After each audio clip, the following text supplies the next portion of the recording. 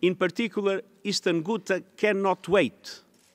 It's high time to stop this hell on earth.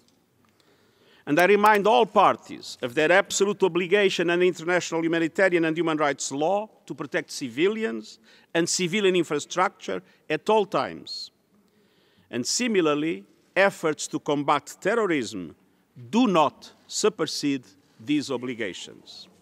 Eastern Ghouta, the other besieged areas in Syria, Ituri and the Kasais in the DRC, Taiz in Yemen, Burundi, northern Rakhine in uh, Myanmar, have become some of the most prolific slaughterhouses of humans in recent times because not enough was done early and collectively to prevent uh, the rising horrors. I want to note that there are people out there now who are counting on us to work even harder.